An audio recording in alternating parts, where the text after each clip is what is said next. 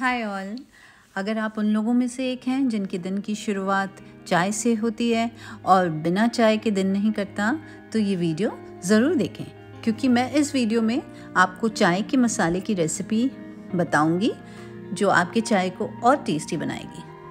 तो इसको बनाते हैं। इसके लिए हमने लिया इलायची, काली मिर्च, दालचीनी, लौंग, तुलसी सीड्स नटमग, जायफल सौंठ का पाउडर सबसे पहले पैन गरम कर लें।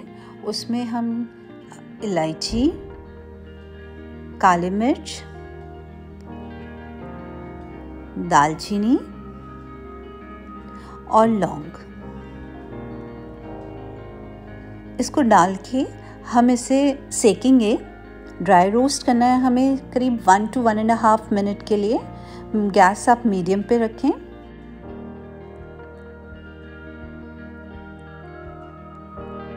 ये जैसे होने लगेगा, तब इसमें से आपको बहुत अच्छी खुशबू आने लगेगी।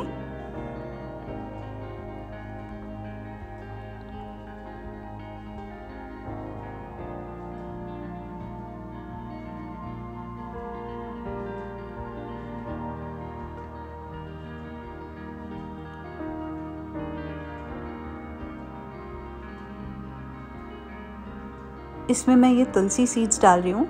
ये ऑप्शनल है। आप डालना चाहो, डालो। इसको बस हल्का सा करेंगे। देखिए, धुआँ भी आ रहा है। बस मैं इसको निकाल दे रही हूँ।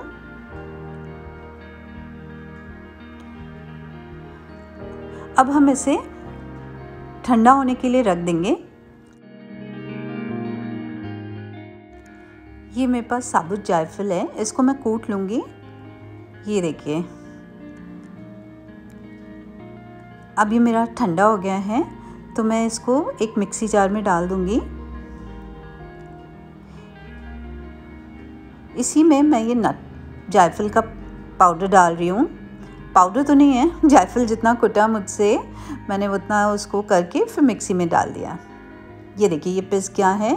अब इसमें मैं ये सौंठ का पाउडर डाल रही हूँ। फिर से एक बार मिक्सी करेंगे हम इसको। ये देखिए। रेडी आपका चाय का मसाला बनके तैयार है। है ना? बहुत जल्दी बनने वाला। अब हम चाय बना के दिखा रही हूँ मैं आपको। मैंने एक कप चाय बना रही हूँ। वैसे तो चाय सभी को आती है। मैं तो बस मसाला डालने की बात बता रही हूँ आपको। पानी बॉईल होने पे हम इसमें चाय पत्ती डाल देंगे और इसी में हम ये चाय का मसाला डाल देंगे। एक कप चाय है तो मैं हाफ़ टी स्पून इसमें डाल रही हूँ।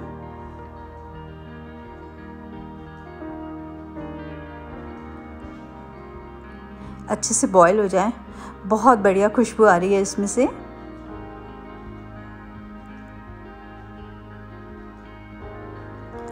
शुगर डाल दें।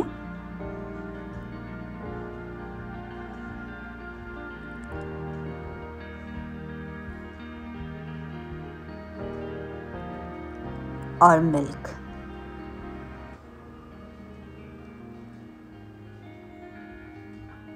ये मेरी चाय बन गई है। तो वेट किस बात का? आज ही बनाएँ चाय मसाला और अपनी चाय को और टेस्टी बनाएँ। Thank you for watching and do subscribe to my channel